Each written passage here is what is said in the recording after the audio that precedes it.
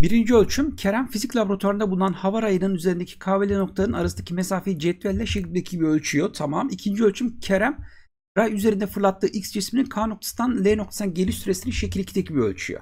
Yani birinde uzunluk birinde zaman ölçmüş oluyor. Buna göre yargılanan hangileri doğrudur diyor. Birinci ölçümde temel bir niceliğin büyüklüğü tespit edilmiştir diyor. Uzunluk evet arkadaşlar temel büyüklük. Hatta temel büyüklükler neler bir hatırlayalım isterseniz. Baş harflerinden kısa muz akrostiş oluyordu.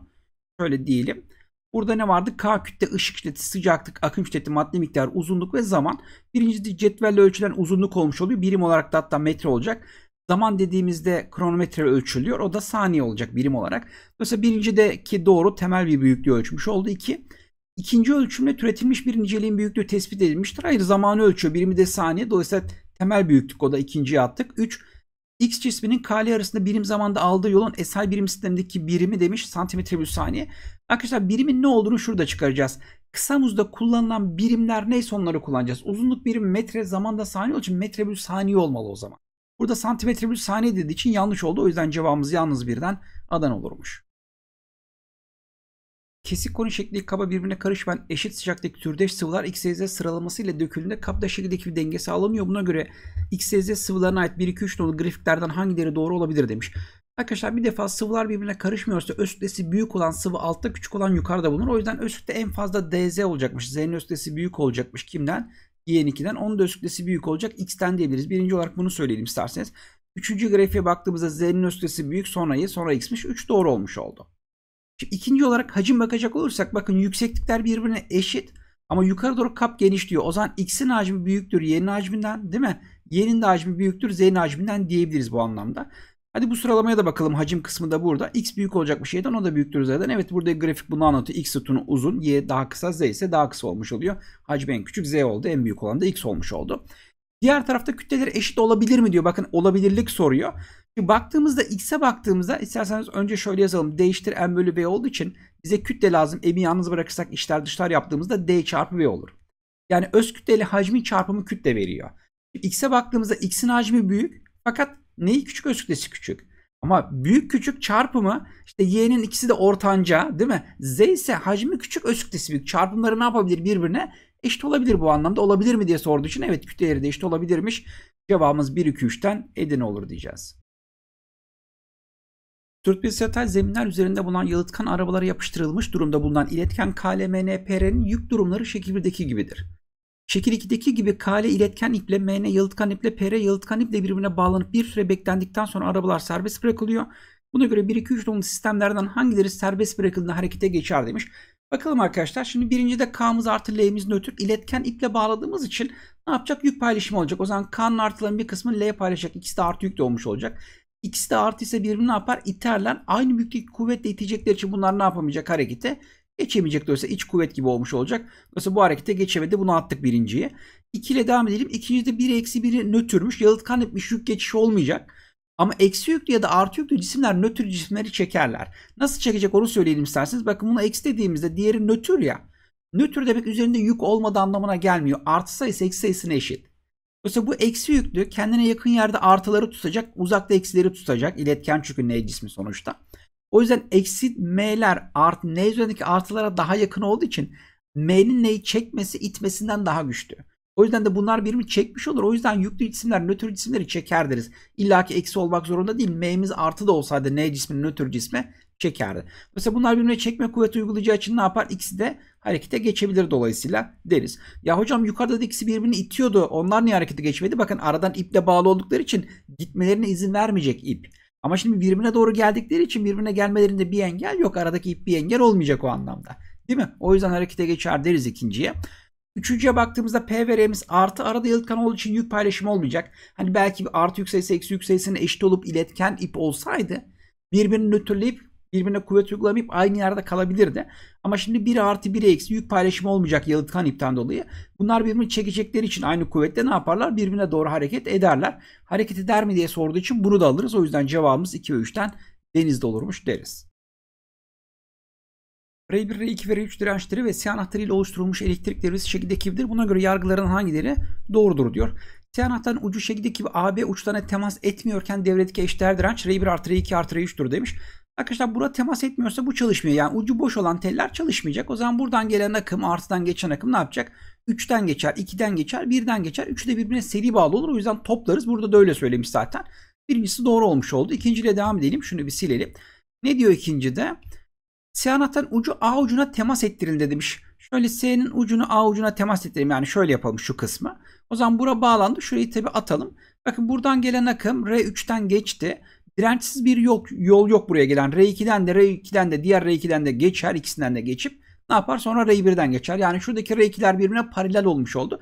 Paralel ve eşitse bir tanesini alıyoruz. Kısa yoldan ikiye bölüyoruz. O zaman burası R2 bölü 2 oldu. R1 burada seri bağlı. R3 de seri bağlı. O zaman ne yapacak? R1 artı R2 bölü 2 artı R3 olacakmış. Dolayısıyla ikincisi de doğru oldu deriz bu anlamda. Üçüncüye de bakalım son olarak. Üçüncüde ne diyor? C'yi herhalde B'ye bağlıyoruzdur. Evet. Anahtarın ucu B ucuna temas ettirildi demiş. Hemen ona da bakalım. Şuraya temas ettirdiğimizde bu sefer şu kısım çalışmayacak. Oraya atalım isterseniz. Buradan gelen akım bakın şöyle geldiğinde R3'ten geçmek yerine şuradaki dirençsiz yolu tercih eder. O yüzden buna kısa devre oldu deriz. Dolayısıyla R2 ve R1'den geçeceği için sadece R1 ile R2 çalışacak. O zaman bileşke direncimiz de 3. durumda R1 artı R2 olurmuş deriz. Mesela burada R3'ü ekstradan eklediği için yanlış olmuş oldu. Bu anlamda cevabımız 1 ve 2'den Bursa olurmuş deriz. Dorsal bir yolda hareket eden bir K hareketlisinin bazı anlarda bulunduğu konumlar aşağıdaki tabloda verilmiştir. Buna göre 1-2-3 nolu grafiklerden hangileri K hareketlisine ait olabilir demiş. Arkadaşlar zaman sıfırken 35. metreden başlamış. 1 saniye geldi 3 metre yol almış. Diğer 1 saniye daha geçince tekrardan 3 metre yol almış. Bakın her saniye 3 metre 3 metre ilerlemiş oluyor. O zaman hızına sabittir diyebiliriz. Hatta her saniye 3 metre yol aldığı için hızımızda 3 metre bölü saniye sabit hızda gidermiş deriz. Bakın burada hız zaman grafiğini sabit olarak vermiş. O zaman ikincisi doğru. Arkadaşlar ivme dediğimiz birim zamandaki hız değişimi. Burada hız değişimi olmadığı için ivmeden söz edemeyiz. Yani sıfır olacakmış ivmemiz. Ki burada da sıfırdan çizmiş. O yüzden üçüncüsü de doğru olmuş oldu.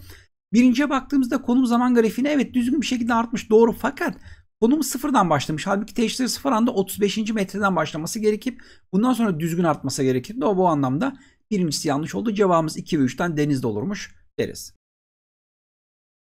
Hava ortamında bulunan camdan yapılmış O merkezi yarım küreye gelen ışın yarım küreden şekil 1'deki gibi ış ışın olarak çıkmaktadır demiş gözüküyor. Cam yarım küre şekil 2'deki gibi konumlandırılırsa O noktasına gelen ışın cam küreden 1, 2, 3, 4, 5 demolu yollardan hangisini izleyerek çıkar demiş. Dairelerin içindeki çizgiler eşit aralıklı diye vermiş. Peki arkadaşlar bakalım. Şimdi yarım küre camdan yapılmış sonuçta havadan cama geçecek. Buradan gelen ışınımız bakın şuraya dik geliyor. Dik geldiği için bir defa aynen geçer. Nereden dik geldiğini anladık. Uzantısı dikkat ederseniz o noktasından merkezden geçecek şekilde gelmiş. Oradan anladık. Şimdi aynen geçti tamam. Şuradaki açılara bakalım isterseniz. Şuradaki gelme açısı kaç derece camdan havaya dışarı çıkarken diye bakalım. Şurada bakın kaç bölmemiz var? 1, 2, 3, 4, 5, 6, 7, 8, 9, 10 bölme var.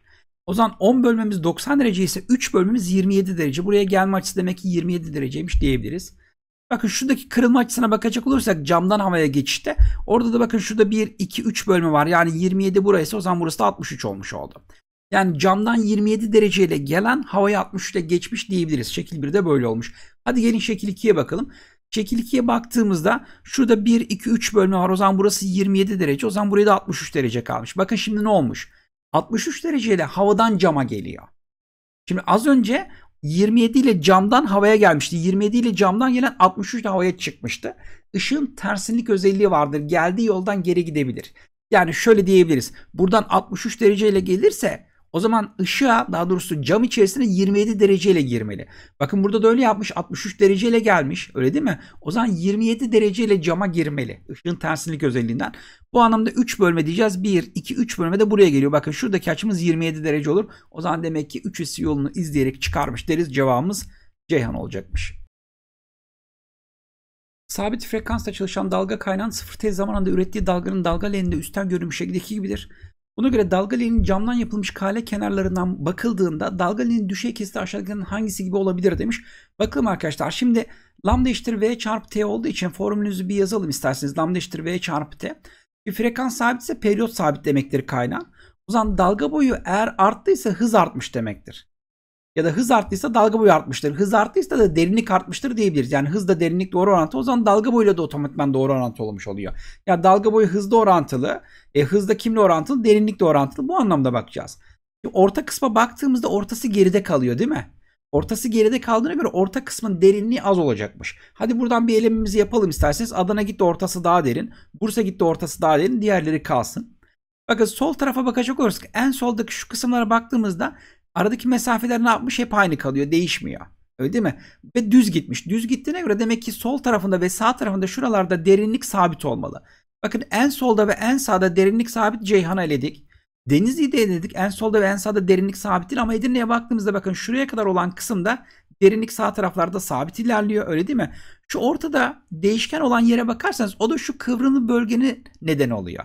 Nasıl? Bakın şuraya yakın olan kısım derin ama şu tarafa yakın olan yer daha sığ. Sığ olan yer de daha geride kalacak. Bakın ortaya yakın yer geride kalmış. O yüzden cevabımız Edirne olurmuş deriz.